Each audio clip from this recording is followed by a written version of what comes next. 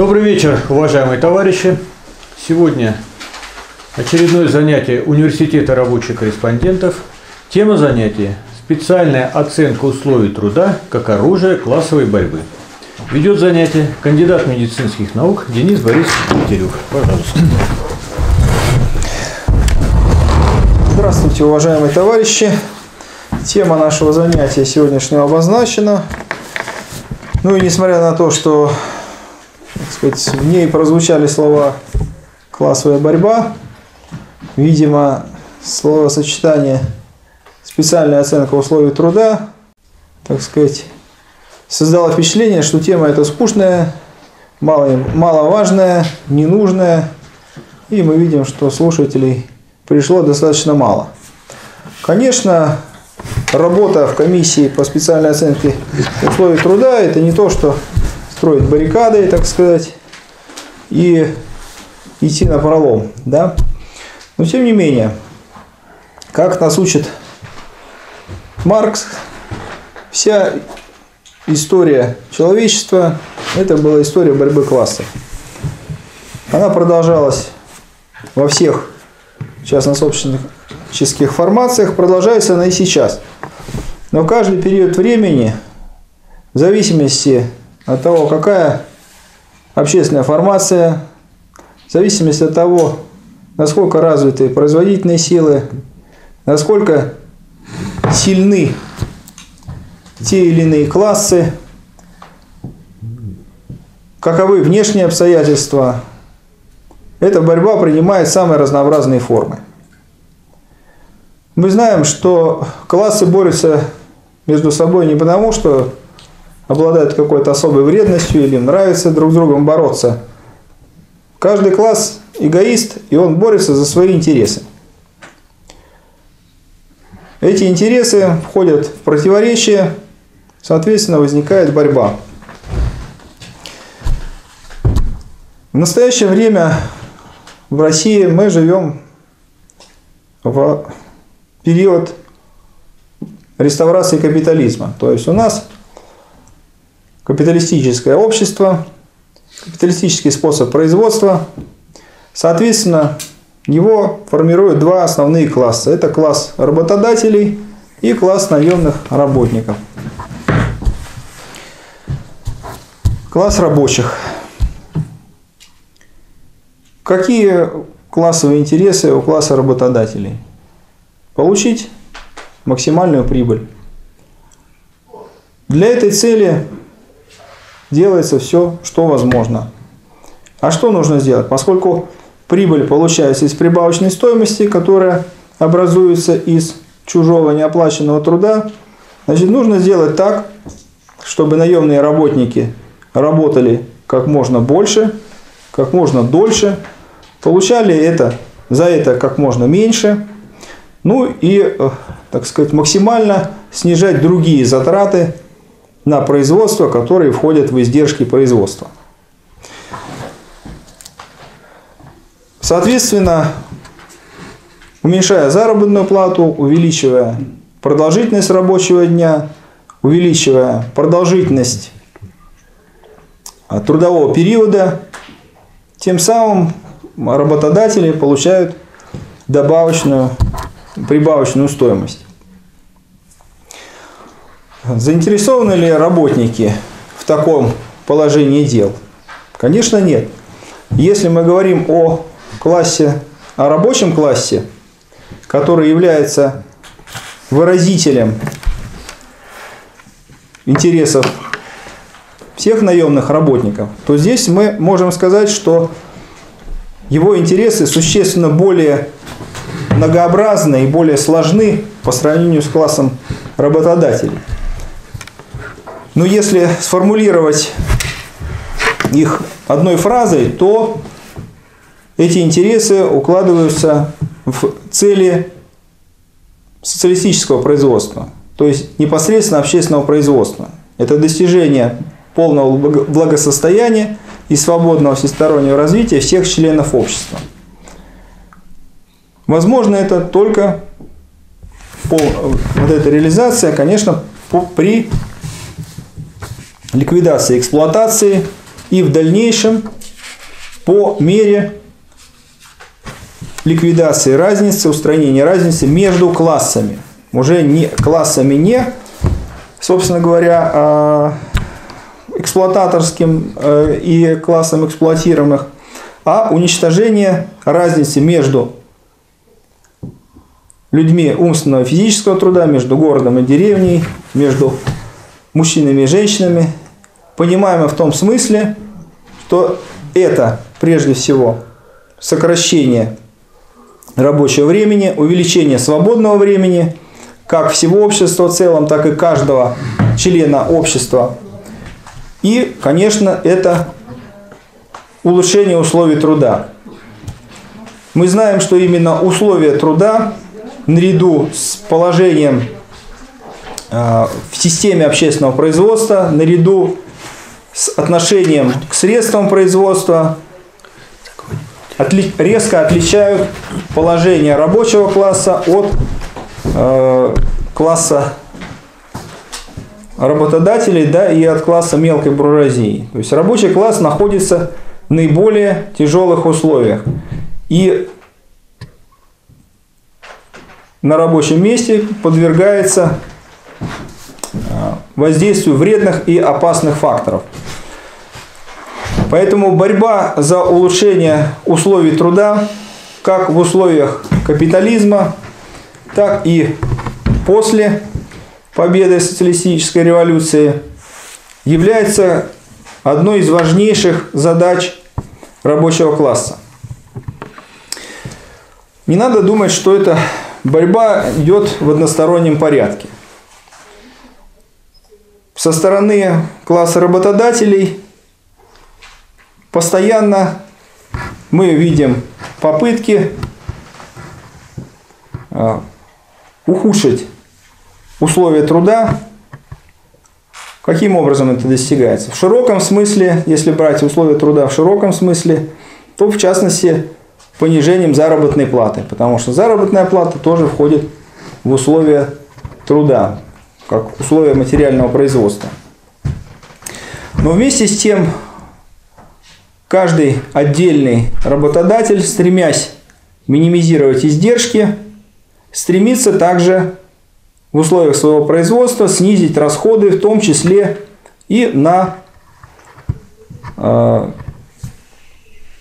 улучшение условий труда, на охрану труда, на обеспечение безопасности труда.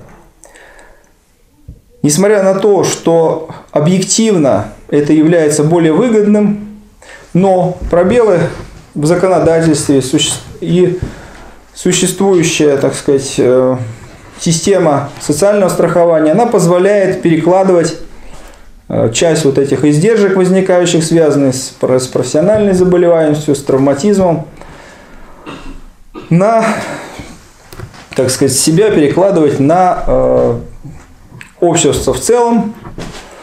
И здесь тоже возникает противоречие между интересами каждого отдельного работодателя и класса работодателей в целом, то есть капиталистического класса, который, так сказать, не в интересах которого э, компенсировать издержки своих отдельных представителей, да, э, так сказать, платить за ошибки и платить за жадность отдельных предпринимателей, которые э, на своих предприятиях не обеспечивают безопасные условия труда и не обеспечивают, э, соответственно, охрану жизни и здоровья работников. Поэтому государством предпринимаются попытки, с одной стороны, провести оцен, объективную оценку состояния условий труда на предприятиях. С другой стороны, попытаться переложить часть этих издержек, возникающих с повышен... в связи с повышенным травматизмом и заболеваемостью, э, на э, плечи тех работодателей, которые, так сказать, владеют производствами с вредными, опасными условиями труда.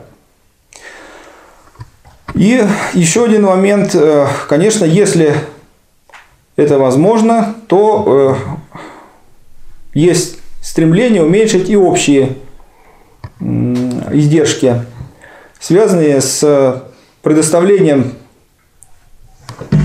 дополнительных выплат, с предоставлением дополнительного времени отпусков, с предоставлением досрочного выхода на пенсию.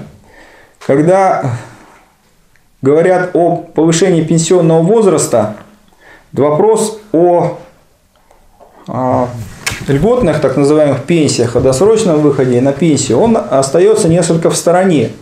И обсуждается, так сказать, вот на поверхности идет обсуждение на поверхности идет обсуждение э, увеличения э, общего э, возраста возраста выхода на пенсию по достижению определенного возраста. Но вместе с тем идет порой незаметное такое ползучее наступление на пенсионный возраст тех, кто трудится во вредных и опасных условиях труда.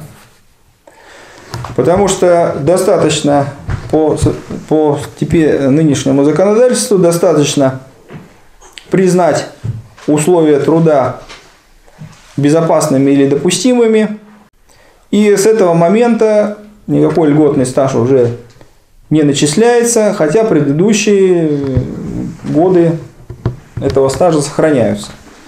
Таким образом, можно без особых так сказать, усилий, даже не изменяя пенсионное законодательство, увеличить пенсионный возраст у достаточно большого количества, числа людей, числа людей. При этом надо понимать, что это люди, занятые в основном в материальном производстве, либо занятые в социально важных сферах общества да, где наблюдается э, в связи с э, неграмотной политикой в отношении и э, самого производства, в отношении заработных плат, социальных гарантий и в отношении профессионального образования наблюдается дефицит кадров, наблюдается старение.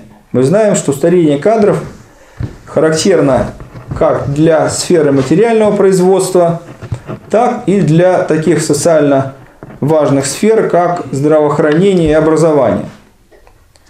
Поэтому а в этих сферах как раз имеется, э, так сказать, э, имеет место назначение досрочных пенсий. Понятно, что многие так сказать, добровольно в кавычках вынуждены трудиться после достижения пенсионного возраста, потому что уровень пенсии такой, что не обеспечивает а, нормальное существование человека. Не говоря же о том, что уровень жизни резко падает практически у любого человека, если он не получает пенсию госслужащего после э, его достижения пенсионного возраста и выхода на пенсию. Поэтому э, при проведении, э, при внедрении специальной оценки труда здесь имело место столкновение трех групп интересов. То есть это интересы класса работодателей в целом, которые представляет государство. Это интересы наемных работников. И это интересы каждого конкретного работодателя, который по закону должен на своем предприятий должен в своей организации осуществить, э, провести эту специальную оценку труда. Специальная оценка труда была внедрена в 2014 году. До этого существовала так называемая аттестация рабочих мест. Аттестация рабочих мест, несмотря на то, что это также было принято так сказать, законом федеральным, но, тем не менее, продвигалась она очень медленно. Там какие-то особые, так сказать, чувствительные штрафные санкции не были предусмотрены. и продвигалась она крайне медленно. То есть за весь период аттестации было аттестовано, если я не ошибаюсь, около 11% предприятий. Все остальные, 11% э, рабочих мест. Все остальные рабочие места оставались неаттестованными, соответственно, условия труда, там признав класс опасности на этих рабочих местах э, определялся в соответствии со списками, так называемые списки 1 и 2, или с постановлениями, в связи с постановлением правительства, которые регламентировали, соответственно, либо э, ну, все льготы и компенсации, которые положены в связи с такими вредными опасными условиями труда. И вот в 2014 году была внедрена, была внедрена специальная оценка условий труда. И вводя специальную оценку условий труда, государство сделало значительный шаг навстречу, но не наемным работникам, а работодателям. Заключалось это в том, что методика проведения специальной оценки труда была значительно упрощена по сравнению с э, предшествующей аттестацией рабочих мест.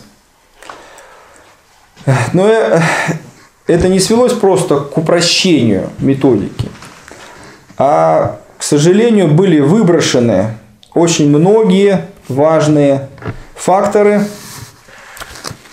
которые с одной стороны, должны были оцениваться при проведении аттестации а, рабочих мест. Э, с другой стороны, методика проведения специальной оценки труда вошла в противоречие с действующим ГОСТом, а, который предусматривает определенный классификатор вот этих вредных и опасных условий труда. То есть у нас получилась вилка законодательная. С одной стороны ГОСТ, где есть определенные совершенно нормы, и есть специальная оценка труда, где эти нормы сокращены. Ну вот в частности, это касается виброакустической нагрузки, то есть шума и вибрации, которая по специальной оценке труда оценивается только в помещении, где непосредственно находится источник э, шума или вибраций.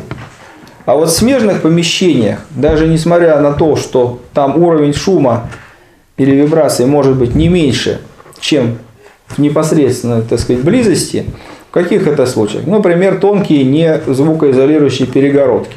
Вот есть, так сказать, машинный зал, есть пультовая, между ними тонкая перегородка. Шум практически одинаковый.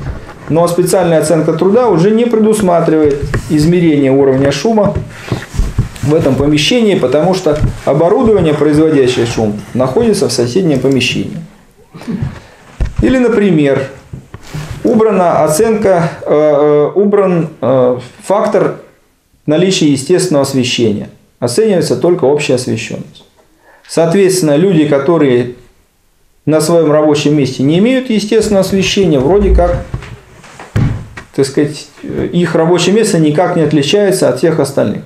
А это подземные работы, это работники крупных торговых центров, где нет доступа к естественному освещению.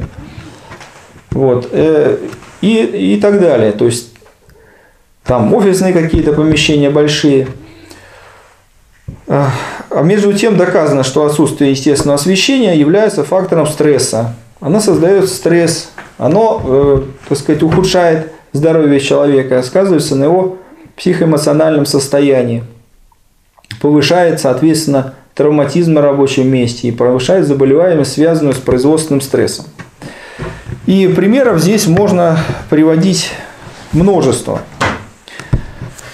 Значит, все эти негативные тенденции, они были замечены, они были проанализированы еще на стадии разработки вот этого специальной, э, специальной оценки труда. И несмотря на то, что мы э, так вот традиционно критикуем ФНПР за соглашательскую позицию, но здесь вот в вопросе специальной оценки ФНПР, в общем-то, оказалась на высоте и проведена была большая работа по анализу вот этого закона и методики, хотя методика появилась позднее. То есть сначала был внедрен, э, введен закон, который предусматривал спецоценку, а потом введена методика. И когда вводили методику, оказалось, что все далеко не так радужно. Значит, тем не менее, э, несмотря на то, что направляли свои предложения да, в, э, в адрес Минтруда, но, э, тем не менее, и в пенсионный фонд и так далее, значит, тем не менее, это не, не возымело необходимого действия, и методика была введена вот в том негативном виде, который мы сейчас имеем. Который мы сейчас имеем. Э, чем чревато введение специальной оценки труда для, для работников? Что оказалось?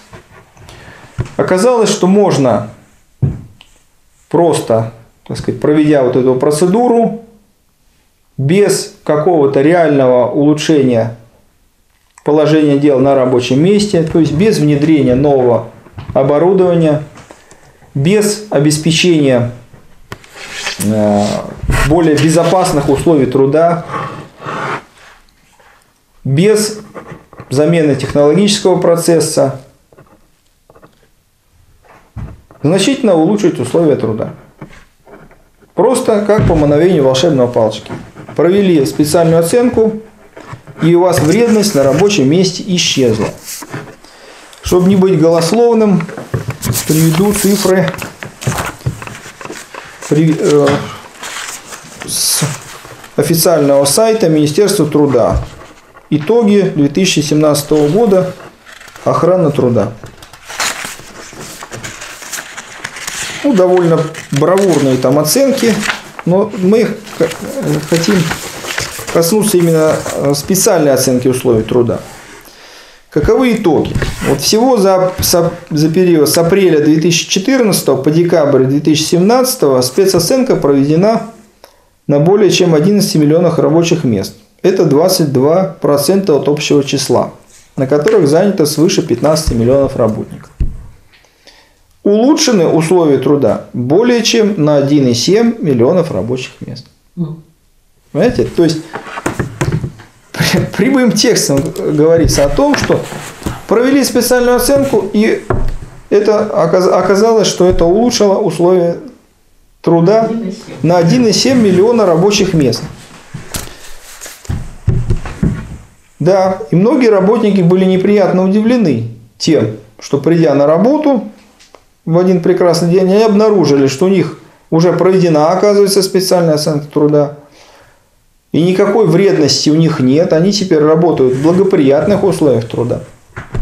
И ничего им больше не полагается.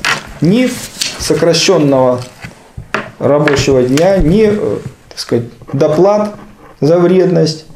И в перспективе им грозит, так сказать, выход на пенсию, как всем остальным гражданам. Э, поэтому Конечно, были, были такие случаи, и э, случаи эти связаны с тем, что профсоюзная организация либо отсутствует, либо недостаточно работает. Либо она не включилась в проведение этой специальной оценки труда. Или третий вариант. Руководство профсоюза, э, профорг или профком заняли соглашательскую позицию. Соответственно, подписали вот эту формально проведенную специальную оценку труда.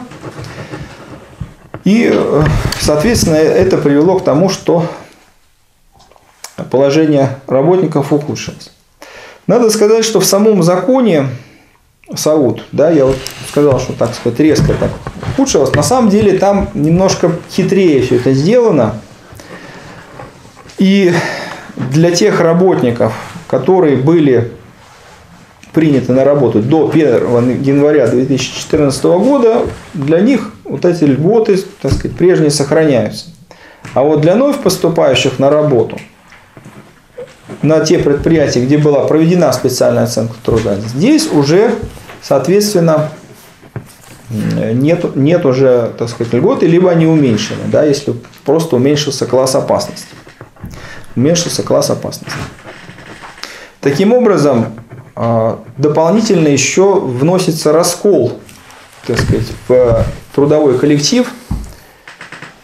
Получается две, как бы, одни более находятся в привилегированном положении, это старые работники, а новые работники, там молодые поступающие, вновь поступающие на работу, они оказываются лишены. Таким образом, подрывается почва для совместной борьбы за улучшение условий труда. Потому что, с одной стороны, вот здесь все сохранилось, здесь, а, так сказать, пришельцы воспринимаются как некие агрессоры. А что вы хотите? Все по закону сделано, все, все нормально. Вот. Мы видели это на примере петербургского города электротранса. Мы видели это на примере других предприятий. Но надо сказать, что не везде, не везде э, борьба, так сказать, в комиссиях по специальной оценке труда склоняется в пользу работодателя. Вот, например, на сайте Забастком 8 января была опубликована заметка «Калужское производство Volkswagen Group Rus оценили как вредное». Профсоюз МПРА добился для работников монтажного цеха завода Volkswagen Group Rus класса вредности 3,2 по СОУД. Косаут. Соответственно, э, каким образом происходило это? Огромную роль в этом сыграли участвующие в проведении замеров активисты МПРА Станислав Качанов и Анна Царева, которые буквально не слезали с представителей компании, проводившей СОУД, и следили за каждым их действием. Так? То есть там, где люди занимались этим вопросом, там, где они не дали, так сказать, провести это формально или а, вообще, так сказать, заочно, там удалось добиться сохранения вредности. Хотя надо понимать, что задача-то, в общем-то, не, не сохранить доплаты за вредность, а добиться улучшения условий труда. И одной из, а, а, одной из целей САУД – и это прямо прописано в законе, является улучшение условий труда. То есть по итогам э, специальной оценки условий труда должен составляться перечень мероприятий по улучшению условий труда. И эти мероприятия должны в дальнейшем реализовываться. Естественно, что сами собой они не реализуются. И здесь очень важна роль именно профсоюзной организации.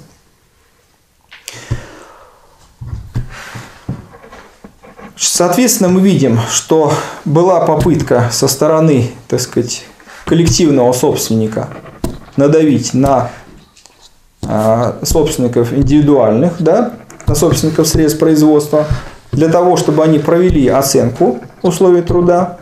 В том случае, если условия труда являются вредными или опасными, они должны были платить, ну и должны вообще, так сказать, платить больше да, в а, фонд социального страхования. То есть выплаты у них должны повыситься. Если работодатель обеспечил безопасные условия труда на своих рабочих местах, выплаты снижаются. Таким образом, должно было стимулировать и так сказать, обновление производства стимулироваться и а, реальные мероприятия по улучшению условий и по охране труда. Но это вошло в противоречие вот с той методикой оценки, которая была предложена. А методика позволила, так сказать, снизить класс опасности без всяких на то усилий. Еще один негативный момент, который заложен в СОУД, это то, что класс опасности может быть уменьшен на один или два пункта при применении эффективных средств индивидуальной защиты или коллективных, э, средств коллективной защиты, что является вообще нонсенсом, потому что от того, что средства защиты применены, сами условия никак не меняются. Да, может быть уменьшено вредное воздействие на организм, человек. Но на условия это никак, это воздействие не на ту, так сказать, часть системы. Еще один негативный момент. Это то, что из методики СОУТ полностью исключен фактор травмоопасности рабочего места. То есть травмоопасность не оценивается. Как это? А вот так вот не оценивается травмоопасность. Но при этом в том же законе прописано, что э, значит, э, прописано, что одним, одной, одним из поводов для проведения внеочередной спецоценки является получение травмы на рабочем месте или увечья. То есть травматизм, травмоопасность не оценивается, но если травма возникает, надо провести еще раз оценку. А что мы будем оценивать, если травмоопасность не оценивается? Значит, просто провели еще раз эту процедуру, травмоопасность не оценили, работодатель, так сказать, деньги заплатил, работник ничего не, с этого не, не получает. Ну и такими вот, так сказать, неувязками э, вот этот закон полон. Кроме того, мы знаем, что на предприятиях, которые, так сказать, э, на которых есть вредные и опасные условия труда, там проводится еще производственный контроль выполняется. Идет он по линии, ну, во-первых, локальные нормативные акты и по линии Роспотребнадзора. Соответственно, там собираются измеряются те же самые вредные опасные факторы, да, но они измеряются не по методике СОУТ, а измеряются не по ГОСТу, соответственно. И здесь возникает э, два информационных потока. С одной стороны, по линии СОУТ идет сообщение о том, что все хорошо, все безопасно. С другой стороны, по линии производственного контроля идут данные о том, что вредность, так сказать, есть вредность, есть вредные факторы. Это там шум, вибрация, аэрозоли, вредные химические вещества и так далее. А, соответственно, здесь нет соответствия между СОУТ и ГОСТами. Ну и э, кроме того, в случае, если результаты СОУТ не устраивают работников, не устраивают профсоюз, то есть они не согласны, есть право обратиться за государственной экспертизой условий труда.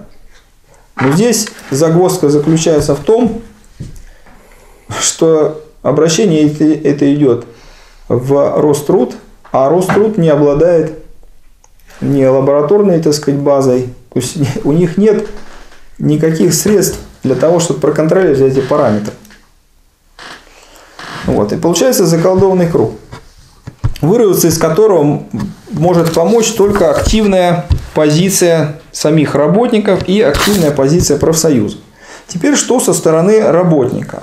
Значит, можно, конечно, сидеть и ждать, пока так сказать, работодатель придет, принесет тебе готовую заполненную карту СОУТ и дополнение к твоему трудовому договору, где будет написано, что с такого-то времени ты работаешь цветнике, на свежем воздухе, все у тебя хорошо.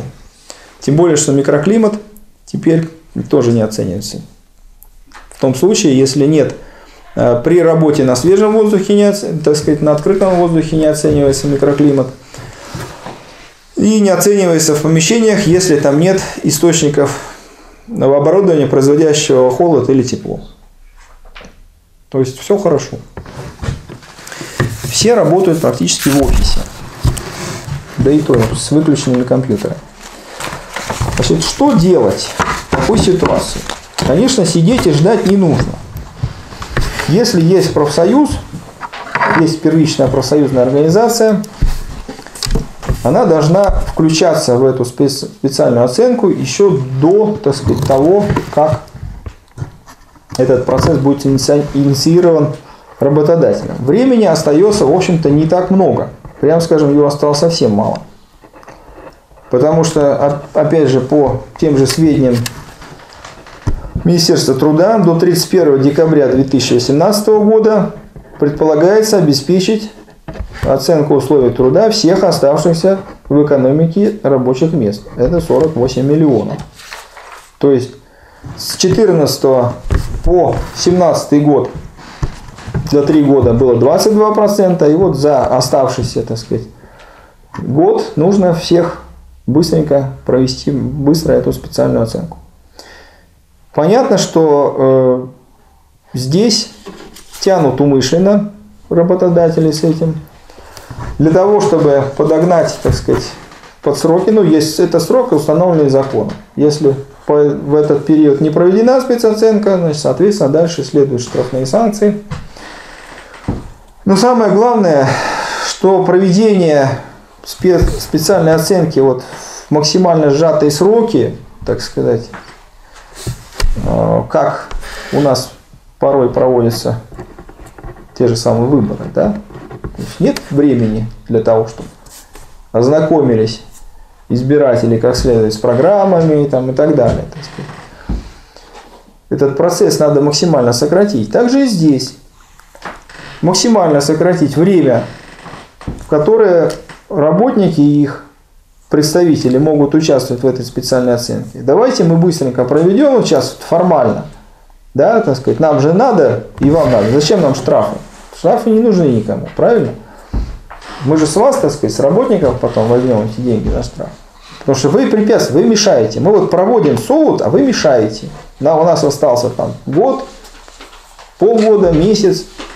Надо скорее ее провести для того, чтобы, так сказать, э, всем было хорошо. А потом мы как-нибудь разберемся с вашими условиями труда. Мы вам все сохраним, все, не волнуйтесь. Вот. Но этого не будет, естественно. Так сказать, надеяться на милость работодателей не следует.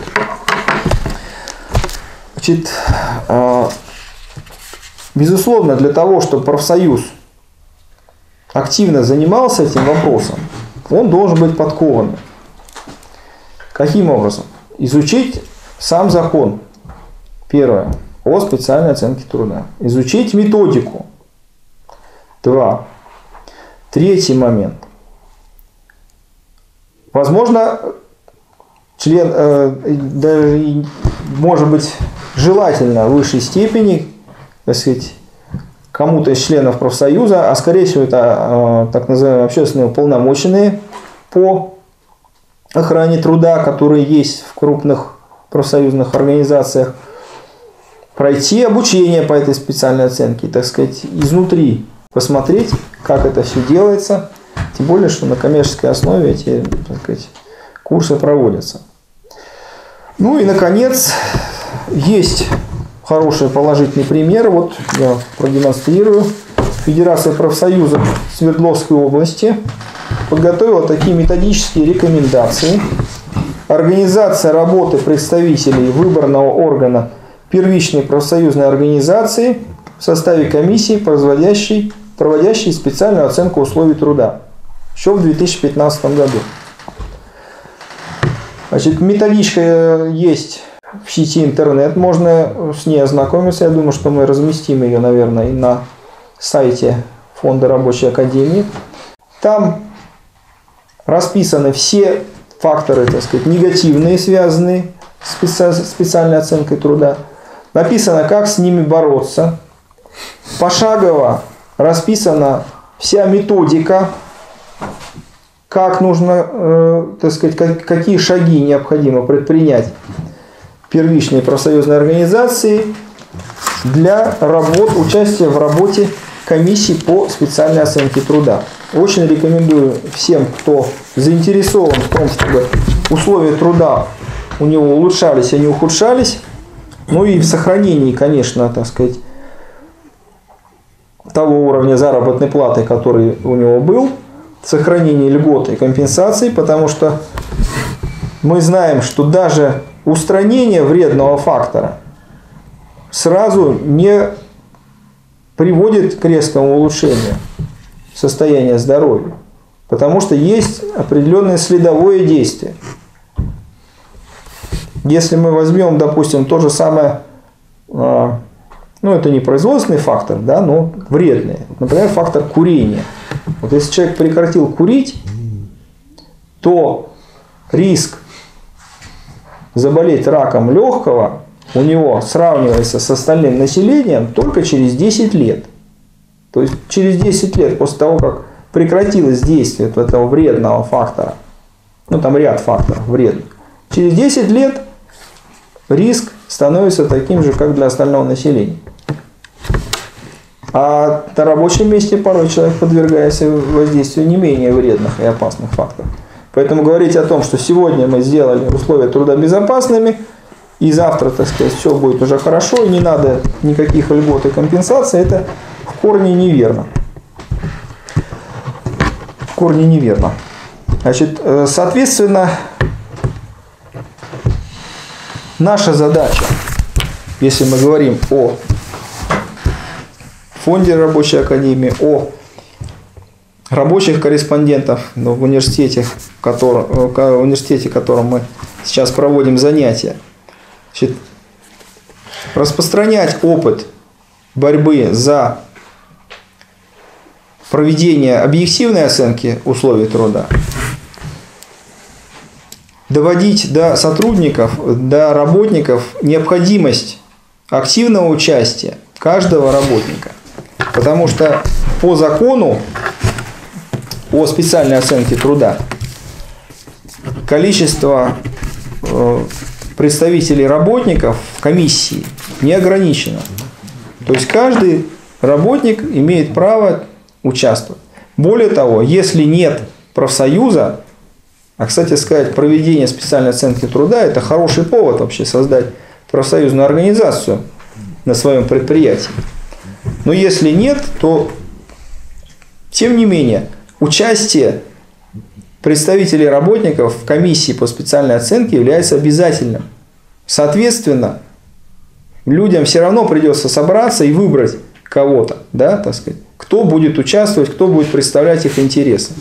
И надо, конечно, чтобы этот человек ну, отвечал своему высокому положению, потому что от того, как пройдет специальная оценка труда, зависит жизнь, зависит здоровье, зависит сохранение льгот компенсаций, зависит э, досрочный выход на пенсию и так далее.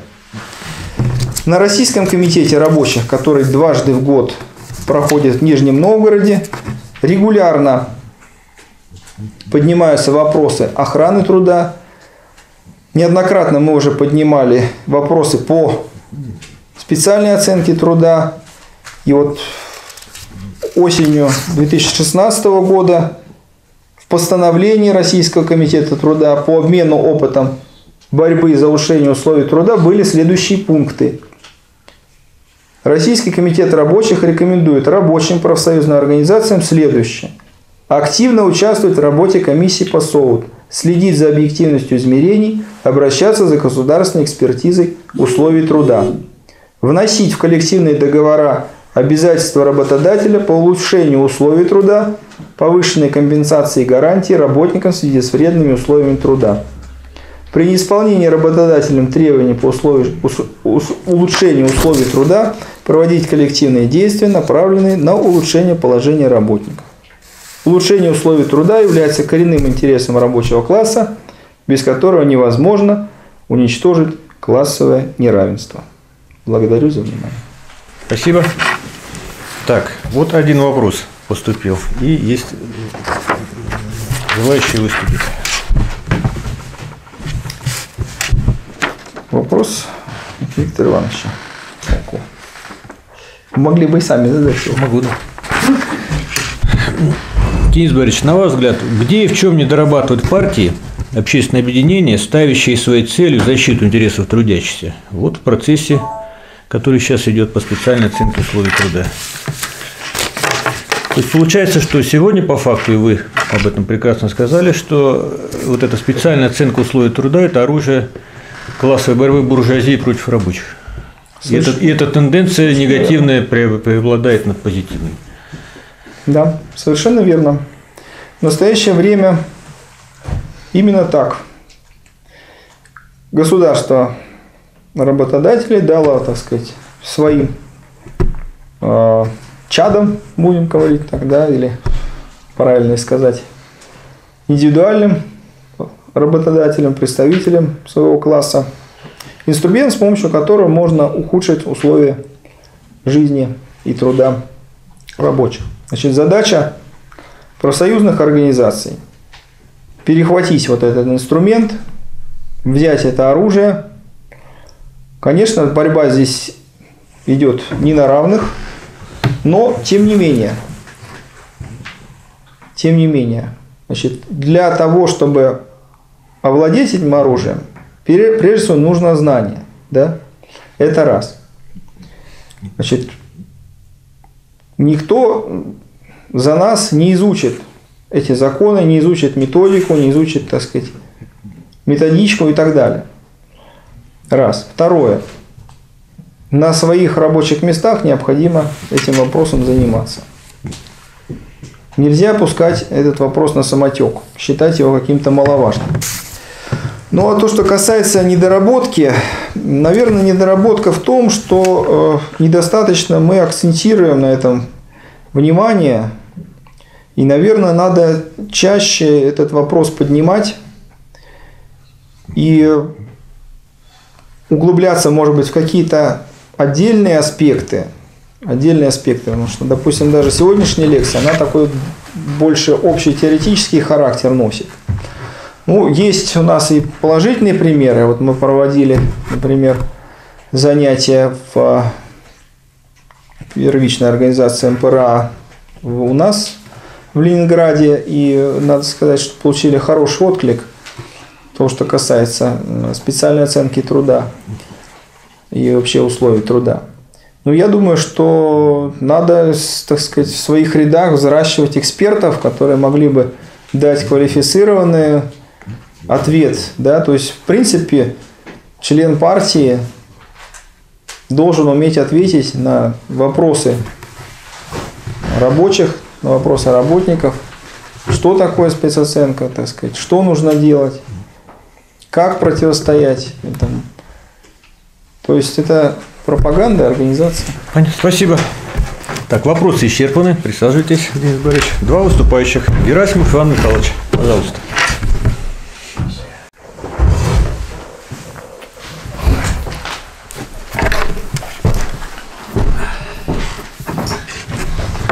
Во-первых, хотели поблагодарить Дениса Борисовича за актуальнейшую лекцию и сказать, что классики марксизма действительно уделяли огромное внимание вопросам условий труда. Маркс, даже интересная фраза была у Маркса, да, слышно, и так будет, спасибо. Вот, интересная фраза есть у Маркса, что законы обуздывают безграничное стремление капиталистов к высасыванию рабочей силы. То есть у капиталистов стремление вот это высосать из рабочего последнее, оно безграничное. И наивны те, кто думают, что вот улучшится экономическая ситуация в стране, наше, наше предприятие станет богаче и будет от этого лучше. Надо вспомнить, что Маркс описывал ужасающее поражение рабочего класса в Англии тогда, когда Англия была владычицей полумира, и с этого полумира высасывала все соки, то есть была богатейшей страной земного шара – и в гораздо более бедной по тем временам Америке, английской полуколонии, по сути дела, рабочая сила стоила гораздо дороже. Там гораздо более высокие были уровни заработной платы. Всего того, что достигли современные рабочие в развитых капиталистических странах, это результат их классовой борьбы и результат воздействия на ситуацию существования Советского Союза и стран социалистического лагеря. Вот. И еще у классиков, вот я сейчас сидел искал в интернете не нашел, у меня, к сожалению, голова не как у Михаила Васильевича. Есть такое, что коммунисты отличаются, я не цитирую, это пересказ в чистом виде, я даже не помню, Маркса это или у Ленина, но вот коммунисты отличаются от любителей политической трескотни о демократии, свободе, равенстве и тому подобном, что ставят во главу угла простой вопрос об улучшении условий труда. Я не сильно перебрал? У Ленина. У Ленина, да. Вот. Это вот отличает коммунистов от любителей политической трескотни и пустой фразы. Значит, ну а теперь вот что делать? Денис Борисович совершенно верно сказал, что надо изучать вот соут, как вот ее проводить. Но есть, вообще говорить, погружаться в основы, хорошо вообще говоря, конечно, это может задача не столько для членов партии со стороны, сколько для членов профсоюза, работающих на этом предприятии. Надо знать, что вам угрожает, среди каких опасностей вы живете. Например, профсоюз докеров имел договор с одним из московских НИИ медицинских я, к сожалению, сейчас не могу назвать его название. Ну и там достаточно интересные и глубокие вещи были о воздействии труда. Ну, докеры, они в основном у них физический труд, они носят на позвоночник и так далее. И вот один из руководителей этого профсоюза, Константин Васильевич Федотов, он мог долго и с интересом рассказывать обо всех этих вредных факторах. О таких вредных факторах, когда вот человек летом из трюма, где минус 27, выходит на улицу, где плюс 32, это тоже очень вредные факторы. И таких факторов очень много, их надо знать, и надо вот стараться погружаться в это. Ну а как это отбить? Вот у нас, скажем, года два, два, три, три года тому назад, вот у нас свера судьба с горэлектротрансом, и там как раз перешли с аттестации рабочих мест на эту соут. Ну и как перешли на эту соуту, сразу выяснилось, что раньше троллейбусы были еще советские, старые, там у них были электромагнитные поля, да это было вредно, а сейчас появилась новая техника, и, значит, соут обнаружил, что там вредных факторов нет. И поэтому убрали э, дополнительные дни к отпуску и убрали доплаты соответствующие. Причем в полном соответствии с тем, что тут сказал Денис Борисович о том, что это орудие классовой борьбы, убрали не со всех, а убрали только с тех, кто будет вновь устраиваться на работу. То есть те, кто раньше работали, на них это действовало, а на вновь прибывших, видно, они какие-то такие закаленные особо, и на них эти факторы не распространяются. И вот с них это сняли, эти факторы. Ну и в таких случаях, конечно, надо бороться просто вот в кор договор вставлять тупо то, что вот требуем, раньше вот у водителей было столько-то дней к отпуску, и требуем ставить это в кор. Мы не обязаны это обосновывать все со ссылками на аутсоут и так далее. Вот такое наше требование о выдвижении в договор. Мы вот считаем, что не, ухудш, не улучшились условия труда. И это, вообще говоря, воспрепятствовать этому с юридической точки зрения нельзя. Признать эти требования незаконными нельзя. Но, конечно, лучше здесь подкрепляться, как это делали докеры, э, с там, заключениями института, а если с институтом договора докеров, ну, понятное дело, институт, так сказать, будет тяготеть к тому, чтобы хорошее заключение делать, которое заказчик удовлетворит. Вот. Этим, конечно, надо подкрепляться. Это вот с одной стороны. И здесь нужно, ну, общие, так сказать, приемы пролетарской борьбы, борьба за курдоговор, вплоть до выхода к забастовке – и так далее. Потому что иначе, ну, Россия, в общем-то, вырождается, но здесь надо видеть и позитивную тенденцию, достаточно сильную. Совершенно верно, вот Денис Борисович сказал, что вот э, среди молодых рабочих, энергичных, умных, вот э, такого, я бы даже сказал, не было, вот насколько я помню, в советские времена. Потому что, как правило, наоборот, существовал некий конкурс – за работу на вредном производстве, потому что там доплачивали и так далее. Ну, тогда в советские времена заботились о тех, кто здоровье свое терял. И это э, проявлялось. А сейчас вот среди молодежи очень интересное, очень такое заинтересованное отношение к условиям труда. И вот Денис Борисович, надо сказать, со своими знаниями, мы выступали перед работниками города Электротранса, и это, в частности, есть на видео с 2015 года на Ленру висит. И очень заинтересованно работники выступают именно к вопросам охраны труда. Поэтому это вот специальность Дениса Борисовича здесь востребована сильно. Это вот сейчас такое поднимается, это очень хорошо. Ну и напоследок, что хотел бы сказать. Всяких вредностей на производстве много, но они все лечатся одним очень сильно действующим лекарством. Это лекарство сокращения рабочего дня. Тут имеет место даже такое качественное качественный такой момент. Вот как Денис Борисович совершенно верно сказал, вот когда выветривается этот вредный фактор из организма, есть какие-то вредные факторы, которые, скажем, если вы 6 часов отработали, то они, вы пришли домой, там поспали, они ушли из организма. Если же вы 8 часов работаете, то их там больше, перерыв между работами у вас меньше, и они не успевают из организма уйти.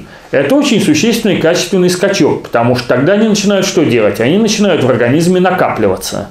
И тут и онкология, и все-все-все. У нас вот товарищ Валерий Павлович Худяков умер на рабочем месте, прямо он был гальваником, ну и рак печени, все сказали, надышался. Вот это вот тоже существенный момент. Ну и, в общем-то, последнее, что я хотел бы сказать, То, что вот Денис Борисович тут обмолвился о неравенстве сил, на, неравных условиях мы ведем борьбу. И это действительно так. Потому что, конечно же, рабочий класс потенциально на порядок сильнее капиталистов. Насколько численно он мощнее рабочий класс. Даже на конкретном предприятии, вот скажем, у нас в политехе, вот, ну, уже в последние времена достаточно служба охраны выросла, но все равно это было 600 человек на 2600 преподавателей и 17 тысяч студентов, и еще сколько там тысяч научных работников и так далее. И на любом предприятии, как правило, ну, один к десяти – это много охранников считается. Ну, если на одного охранника там 10 рабочих, то никак нельзя не говорить, что на предприятии капиталист сильнее, чем рабочие. Так что поэтому вот это у нас, вселяет, нас вселяет оптимизм. И вопрос дела за малым, как рабочих организовать. Ну да, об этом будем думать, в том числе на Российском комитете рабочих. Спасибо еще раз Денису Борисовичу за лекцию. Так, последний выступающий. Значит, ну вот я внимательно слушал Денис Борисовича. Хочу сказать, поддержать Ивана Михайловича. В лекции поднят вообще фундаментальный, коренной вопрос – существования и развития рабочего класса. И, к сожалению, вот этот вопрос, как-то вот он, я бы сказал, ну сильно скажу, наверное, он упущен, в том числе из нашего внимания. И придаем мы не то значение, которое должны придавать. Вот Иван Михайлович здесь помянул Маркса, который исследовал положение рабочего класса, да, ужасающее. Да далеко ходить не нужно. Вот если мы посмотрим на положение рабочего класса у нас в России, ну оно мало чем отличается в принципиальных вопросах от того, что было там, 150 или 200 лет назад. Вот мы в своих лекциях, в своих статьях, в своих расчетах говорим, что, скажем, Средняя заработная плата у нас рабочих не дотягивает до стоимости рабочей силы, составляет процентов 20. Я изготовлюсь к Ленинской конференции, сделал новые расчеты. Это оптимистичный взгляд. Мы берем среднюю заработную плату. А, как в известном сказать, анекдоте поговорке, средняя температура по больнице. Там 36,6. У одной половины под 40 помрут скоро, у другой 35 тоже помрут. Вот то же самое у рабочих. То же самое у рабочих. Вот средняя заработная плата, говорю, в 2017 году почти 39 тысяч. Ну, вроде так вот уже чуть-чуть приближается. Но я задался вопросом, а какая средняя зарплата у рабочих? Ну, пришлось покопаться. Последние данные, которые дает Росстат, это за 2015 год. Так вот, за 2015 год она составила у рабочих 26 тысяч рублей. 26 тысяч 300 рублей. Это при том, что у руководителей более 60 тысяч, у специалистов более 35 тысяч 600 рублей. Дальше элементарные арифметические расчеты за эти два года, потому что данные за 15 год последние, она выросла на 15%. И отнимите подоходный налог, поскольку это э, налог на доходы физических лиц 13%, поскольку это номинальная заработная плата. Получается, что сегодня средняя заработная плата уже рабочих 26 тысяч 300 рублей. Вот она такая осталась. Не заработная плата, уж на руки получили. Реальная заработная плата. А, ну после, Реальная. да, после. Я так сказать, сказал об этом. Ну и представим, у него семья. Как мы знаем, чтобы наша страна вообще не вымерла полностью, в семье сколько должно быть детей? Трое. Вот жена сидит с, реб- с- детишками, его муж приносит 26 тысяч рублей. Сколько на человека получается? 5 тысяч небольшим. Какой у нас прожиточный минимум? 10 тысяч, я округляю. 10 тысяч. Значит, что, в какое положение сегодня поставлен рабочий класс по уровню заработной платы? Российский. Это мучительное вымирание. Не просто испытание какие-то тяготы, невзгод, а мучительное вымирание. Это одна сторона. Второе – продолжительность рабочего дня. Мы знаем, она зашкаливает. А вот Денис Борисович поднял вообще вот ту основу фундаментальную, на чем сказать, стоит, потому что если брать условия труда в широком плане, то есть это все сюда входит. И Иван Михайлович правильно привел эту мысль Ленина, что все формулы коммунизма маршируют к улучшению условий труда. И я не зря задал этот вопрос, потому что вот у нас, когда это, так сказать, закон был принят? Уже два года идет полным ходом, да? С 14 года. Считается, ну, уже три года, считайте, третий год идет. Вот эта специальная оценка условий труда, которая, по сути де- дела, является еще одним инструментом в руках правящего класса, чтобы еще раз вот нагнуть, еще раз сказать, насесть, сказать, наложить какие-то тяготы на рабочий класс.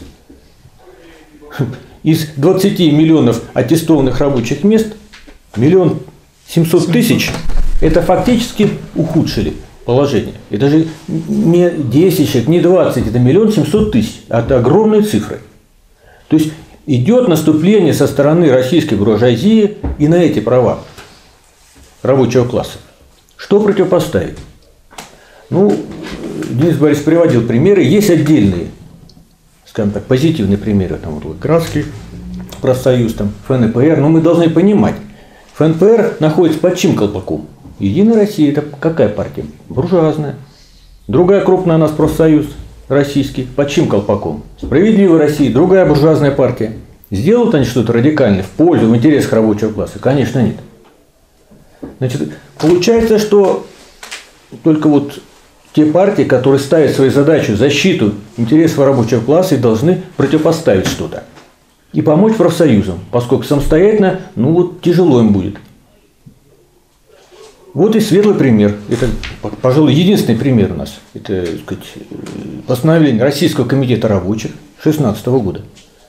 Но похоже, поскольку ситуация пока идет негативно, развивается в негативном русле, значит, надо, наверное, побольше внимания уделять этому вопросу. То есть, наверное, недостаточно вот один раз обсудить на Российском комитете рабочих. И в других партиях и общественных объединениях. Ну вот я думаю, вот сейчас вот в этом году выборы президента. Ну вот и все туда, многие туда навалились. И кучу сил отдали.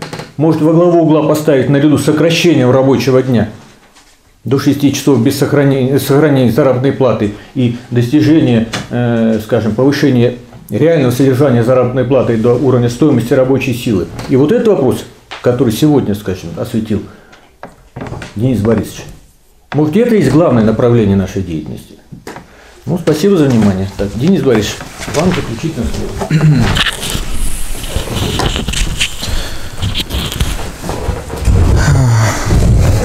Благодарю выступавших за высокую оценку моего доклада. И в заключение я хотел бы отметить, что, как мы видим, борьба классов, она идет постоянно.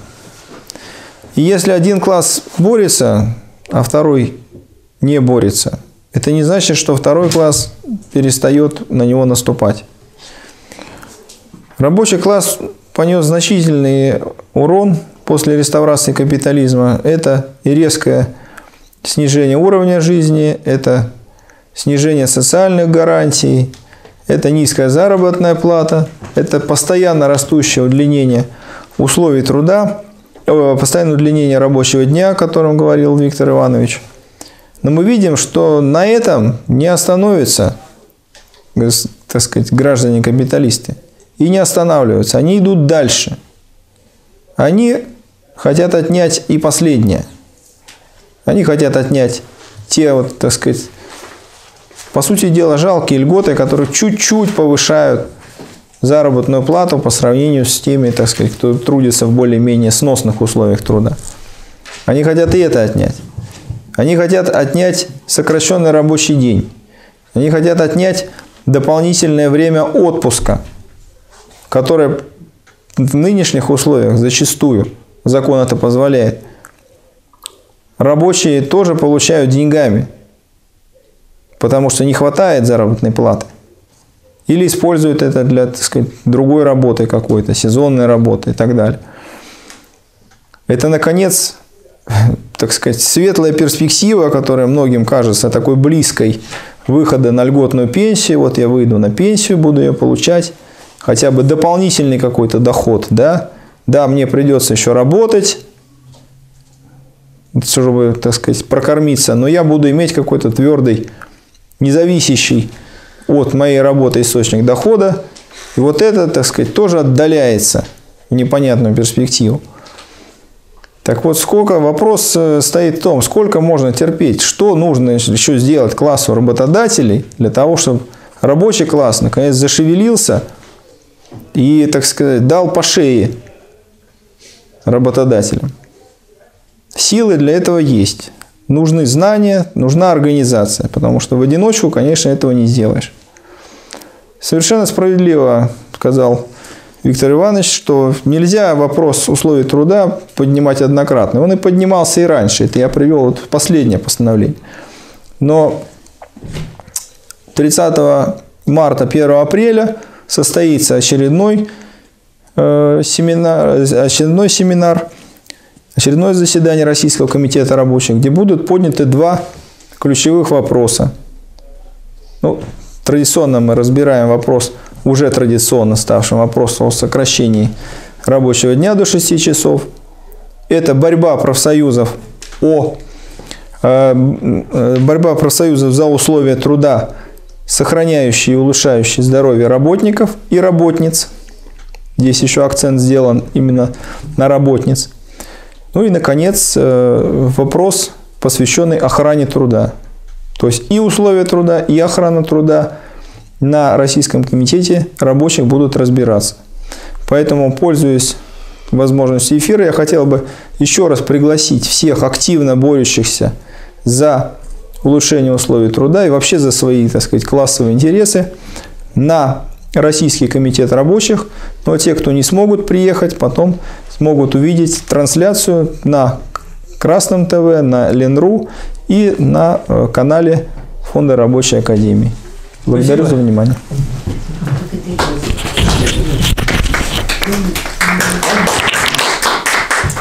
Тема следующего занятия. Встречаемся мы в четверг, через неделю. Тема занятия. Объективные и субъективные основания свободы человека и общества и проблемы демократии. Лекцию читает доктор философских наук, профессор Огородников Владимир Петрович. Еще да. раз повторите. Объективные и субъективные основания свободы человека и общества и проблемы демократии. Встречаемся через неделю.